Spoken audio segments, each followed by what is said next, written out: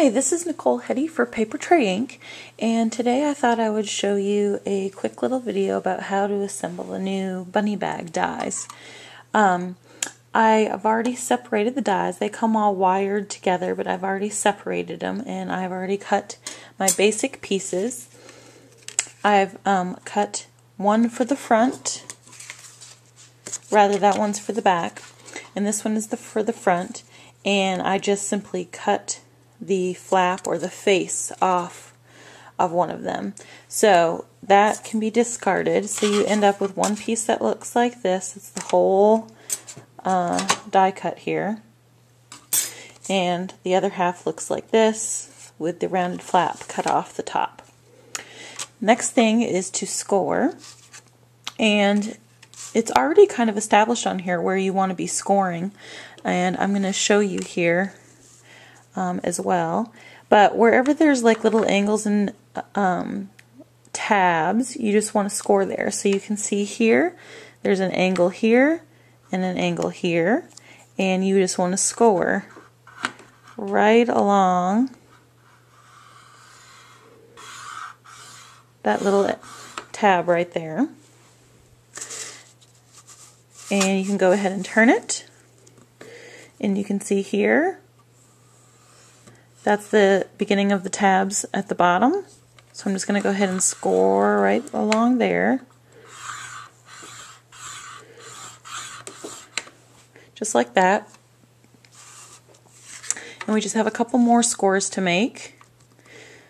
I'm going to go ahead and do the one right here. See this little um, cutout right there? You just want to go ahead and go right down that line and you're going to do one roughly in the middle here and you don't even need to do it that far down. It's just just to get you started with the fold um, for the gusset sides.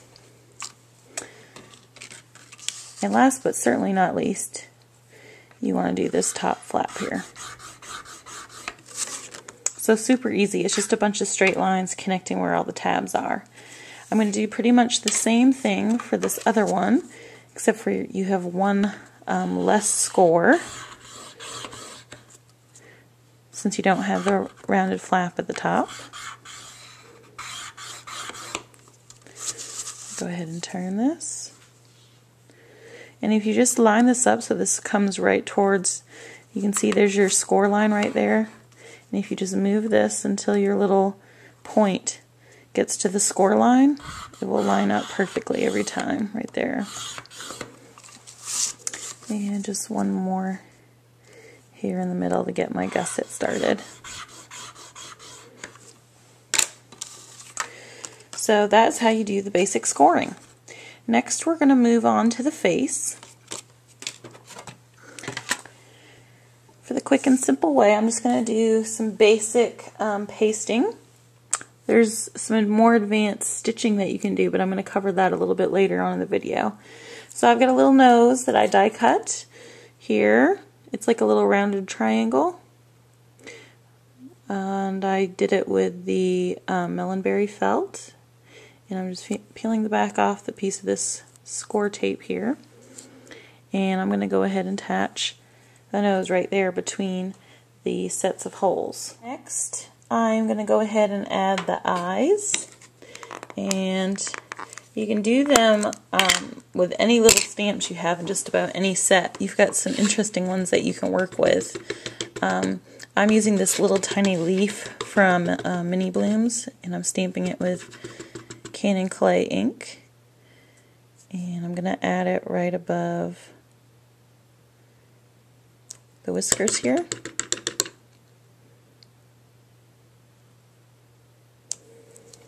Like that. And next I'm going to go ahead and add the whiskers, and that's what those holes are there for.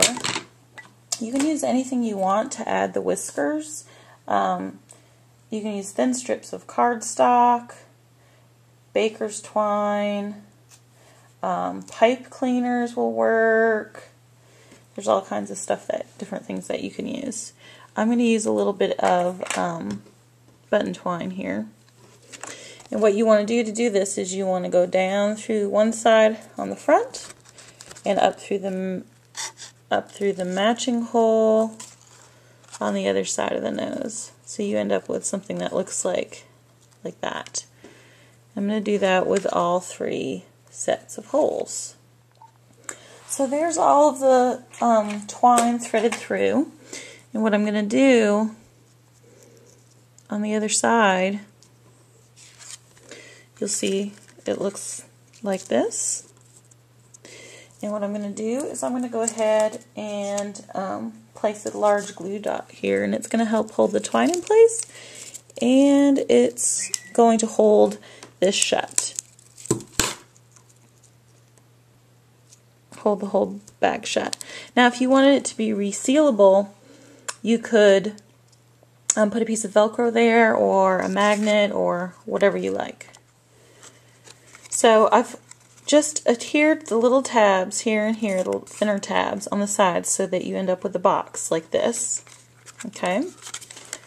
And now I'm going to go ahead and adhere the bottom tabs. And remember, you really only need to put adhesive on one of the one of the big tabs, not both.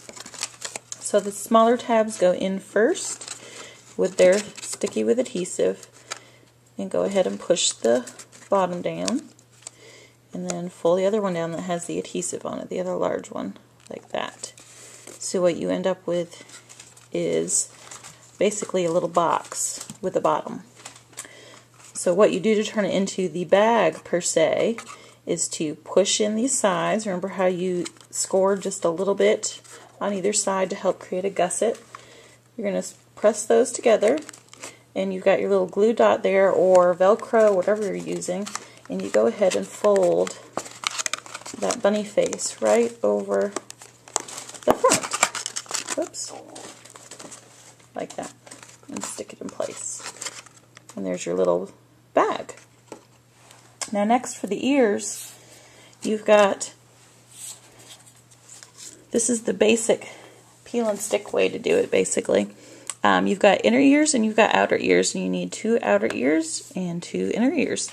Uh, for the inner ears, I suggest using a pattern paper or felt or something um, with a punch of color because that's where you're going to get your accent in. And I'm just adhering these in place and that creates your ears there. And then I'm going to add score tape to the bottom of each ear like this. And that gets stuck right on the back side of the box. Get the other one here. Like that, and that makes your bunny. Isn't that adorable? So we're going to move on to the paws. Two of these dies come with the come with the die kit here. And I just put adhesive um, closest to the flat side here because I like to keep this end um, unadhered so I can kind of stick something underneath his paws. Now you can stick these um, on the outside edge. Like you could do it right behind the flap like that if you wanted the arms to be outreaching. Um, but I kind of like them over here where you can just line up that flat edge and put them in place like that. So there's the first one and there's the second one. And like I said, the middle is left loose here. Here I've got, there's an egg and tulip and leaves that are included with the die set. And I'm going to kind of just stick this under, oops, under the paws, like that. So it looks like she's holding a little Easter egg. Okay, one last finishing touch is there's a small scallop circle, basically, included in the die set, and that's actually so you can create a tail if you like, and that can get stuck right on the back here like that. So that is your basic bunny bag. Now I'm going to tell you a little bit about the stitching dies if you want to get a little bit more elaborate and detailed um, with your work on the bunny bag. Uh, earlier I showed you how you could cut a plain inner ear using the plain inner ear die, but there's also these two dies uh, that come with your collection. This one you can see has an outer cutting edge and all the little holes, and this one has just the holes without an outer cutting edge. What you want to do is go ahead and die cut your uh, regular outer ear and use the die with just the holes. Place it on here. You can hold it in place with some mini glue dots or something if you like and run it back through your die machine to cut all those little stitching holes. You'll end up with something that looks like this. You also want to use the other inner ear stitching piece, the one with the cutting edge, and you'll end up with something like this. And you could use paper or felt, but I've used felt for my sample project. So all you'll have to do is place this, line this right up with the holes on the ear, and use a needle and thread and stitch it right into place. It'll end up looking like this.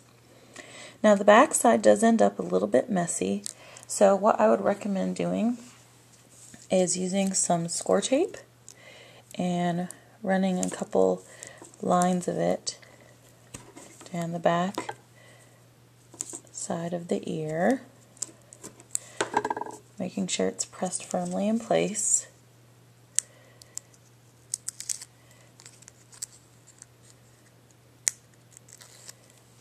And then take a regular plain outer ear and line it right up with the back and press them together.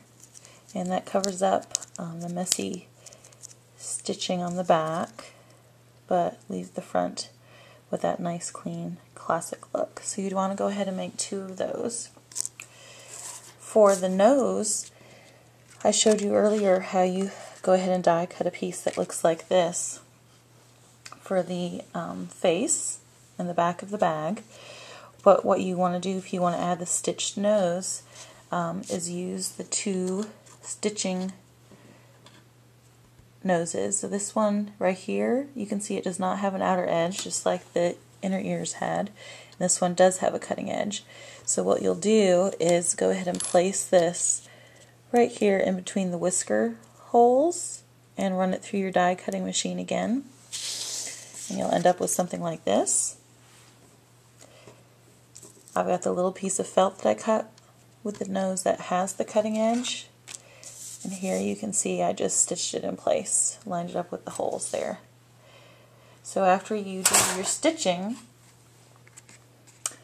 you end up with this nice detail for the nose and the ear. So that's just another thing you can do to play with your bunny bag.